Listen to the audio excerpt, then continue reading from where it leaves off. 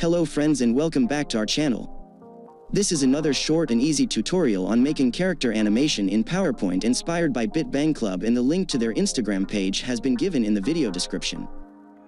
You can go and check out their work. I found out one of their animations at Giphy. We try to replicate a part of the entire scene in Microsoft PowerPoint. Here in this presentation, we have drawn the character using the freeform shape tool and we also named each of the body parts in the selection pane for easy identification. If you look into the animation pane, then you can see that we have applied two effects to the face with head layer and three effects to the face one layer. Face 2, 3, and 4 have the same animation effects that we replicated using the animation painter and later just changed their motion path length and added a short delay timings between the effects. Let us first talk about the face with head layer on which we have applied the spin effect two times. The first effect moves the head at 2 degree clockwise in a time duration of 0.75 seconds and at a delay of 1 second. If I delete all the other effects and play the slideshow then you can notice that the head moves a bit downwards to 2 degrees after a delay of 1 second. We group the face with the head layer within a larger oval shape, which is made hidden using the no fill and no outline color and that is to define a custom anchor point and to spin the head exactly from the position that we want. To move the face with the head layer backward, we then applied the spin effect the second time and this time we used 12 degree counterclockwise rotation with delay timings of 1.75 seconds.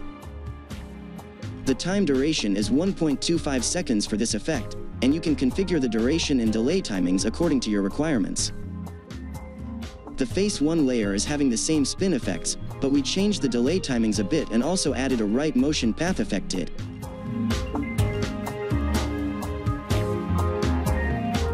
So, when you play the slideshow, you can see the face 1 layer spinning and moving to the right, and you can also see the other face layers in the back.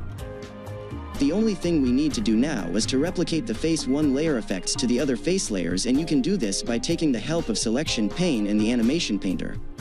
You can watch our tutorials on using Selection Pane and Animation Painter for more information and the links are given in the video description and in the cards.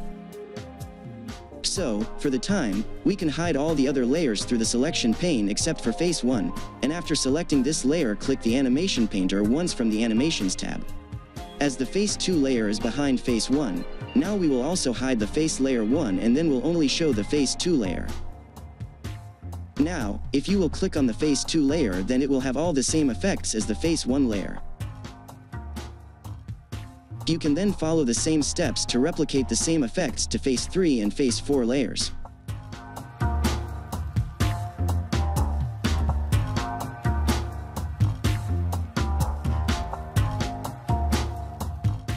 After that, you only need to add a bit of delay timings between these effects, so when you play the slideshow then they move one after another, just as we did in our presentation. You can download this presentation and the link is also given in the video description. If we make a duplicate of all these layers and choose an outline color, then you can exactly see how the objects are moving during the slideshow. So, if you find this video informative then do not forget to like, share, and comment. Thanks a lot for watching the video and have a great weekend.